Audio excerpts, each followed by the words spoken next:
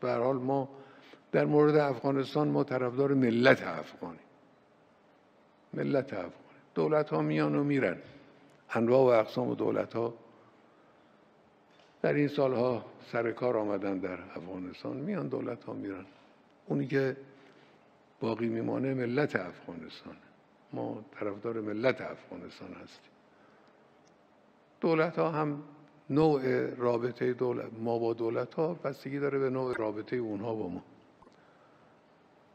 و امیدواریم که انشالله خدای متعال خیر مقدر بفرماید برای مردم افغان و اونها را از این وضعیت نجات بده و انشالله وضعشون رو به بهترین وجهی انشالله قرار بده و تفضلات خودشو بر اونها نازل کنه و بر ما انشالله thank you